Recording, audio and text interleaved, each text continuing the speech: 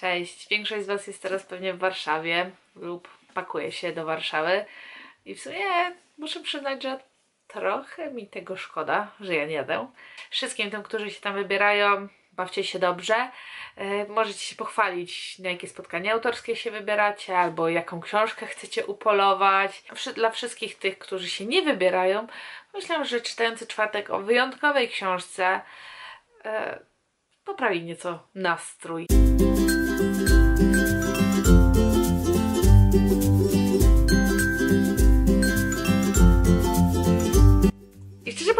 Zastanawiam się, dlaczego jeszcze do tej pory nie mówiłam nic o Podtrzymując Wszechświat Jennifer Niven. Zanim przejdziemy do opowieści o tym, o czym jest ta książka i co tak naprawdę we mnie zmieniła i w innych może zmienić, to myślę, że dużo osób, które pisze książki, zwłaszcza też dużo osób takich, które znam i piszą książki i wydają te książki, mogło wybrać przykład z Jennifer Niven. Bo Jennifer ile ma? Dwie książki? Myślę, że dużo osób może się uczyć od niej tego, że lepiej wydać dwie książki, a nie książkę co dwa miesiące, żeby te książki coś znaczyły. Jeżeli się pisze o jakichś ważnych sprawach, to lepiej odczekać, poświęcić dużo czasu na uczenie się o tych sprawach i żeby to było coś wspaniałego, żeby z tej książki coś wyszło, żeby nie skrzywdzić kogoś, kto na przykład cierpi na jakąś chorobę, właśnie jakimiś sądami, opiniami czy stereotypami w książce, bo jeżeli ktoś już o czymś pisze, to wydaje mi się, że powinien być profesjonalistą w tym, o czym pisze. Lepiej wydać jedną książkę, która będzie wow, niż 10, które będą no, tylko w porządku. Owszem, może te 10 tylko w porządku zarobi więcej pieniędzy, jeżeli w ogóle ktoś bawi się w pisanie z myślą o zostaniu milionerem. Pozdro. Ale wydaje mi się, że bardzo łatwo pisarz może kogoś skrzywdzić. I dlatego jest taki apel do wszystkich piszących.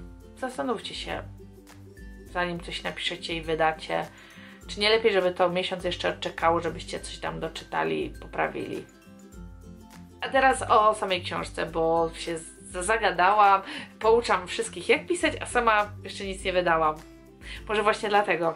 Potrzebując Wszechświat to historia Jacka i Libby. Libby straciła matkę i po śmierci tej matki e, zaczęła jeść ciągle, kompulsywnie.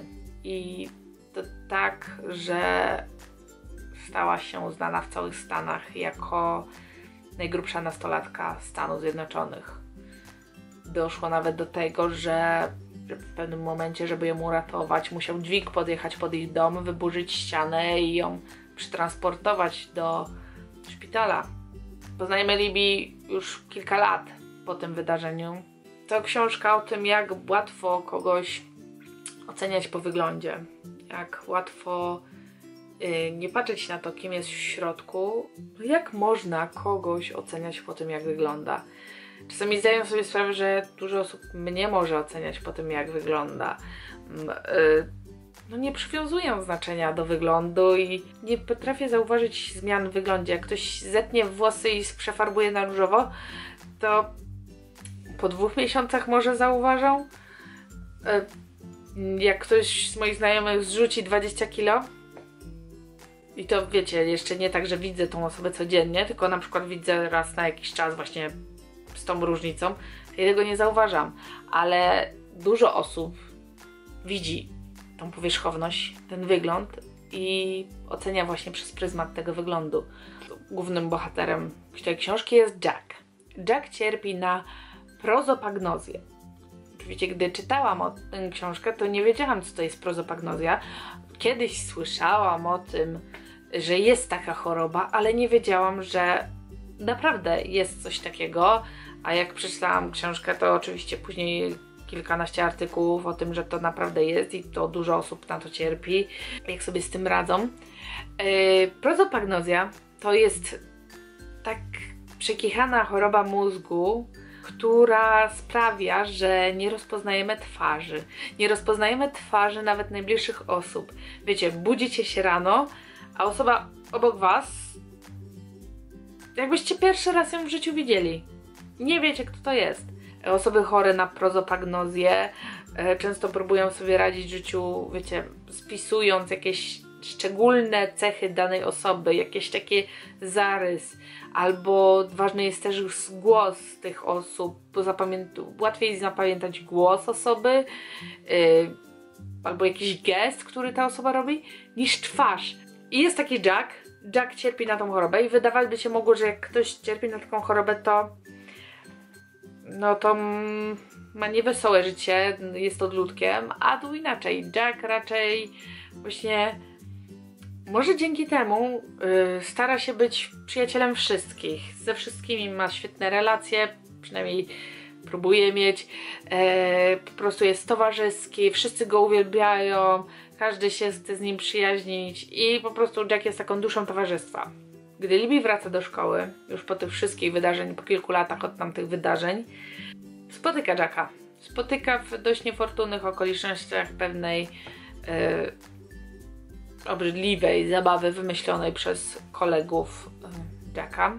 Znaliśmy wcześniej, ale dzięki temu, że teraz hmm, musieli ze sobą trochę przebywać, to poznaje się lepiej. No i oczywiście mają tam różne, różne perypetie. Piękne.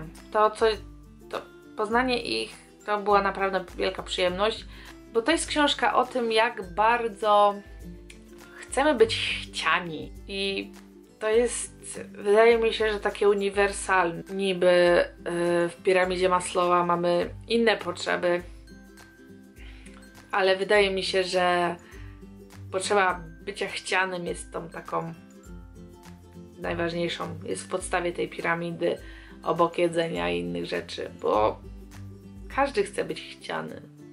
Chciany przez, wiecie, przez różne osoby, instytucje, yy, zawodowo. Rozumiecie o co chodzi? Każdy z nas chce być chciany. I o tym jest ta powieść. Moja koleżanka z pracy Kasia zauważyła, że to jedna z tych książek, które nie tylko nastol... niby jest o nastolatkach, ale ją właśnie powinni przeczytać rodzice, nauczyciele, yy, wszystkie osoby, które obcują z młodymi, żeby mieć taką, to jest słowo uwielbiane przez wszystkich trenerów osobistych, ale ta książka wzmacnia taką naszą uważność. Po wszystkich jasnych miejscach, nie wiem czy pamiętacie, ale oczywiście link będzie na końcu filmu, yy, jak przeczytałam wszystkie jasne miejsca i zamknęłam książkę, to płakałam przez kilka godzin, ale zaraz jak zamknęłam książkę, to musiałam włączyć aparat i nagrać coś i wam coś o czymś o tym opowiedzieć, bo to... Ale myślę, że wszystkie jasne miejsca tak bardzo mi wyrwały to serducho, yy, no też ze względu na zakończenie, ale też ze względu na to, że co jest we wszystkich jasnych miejscach wtedy bardzo w moim życiu prywatnym też miało znaczenie. Mam nadzieję, że teraz też ma znaczenie, ale a w, przy Podtrzymując Wszechświat to też nie było czego takiego, po którym bym po prostu zamknęła się w pokoju i płakała, ale to nie znaczy, że to jest mniej cudowne. I też w sumie osobiście nie znam nikogo, jak wiecie, kto cierpi na prozopagnozję. Nawet nie jestem pewna, czy dobrze to wymawiam. Dlatego ta książka nie odbiła się na mnie tak emocjonalnie jak tamta. Ale mimo wszystko, jeżeli nie znacie Jennifer Niven, to co wy robicie ze swoim życiem? Po prostu ta kobieta tworzy coś wspaniałego.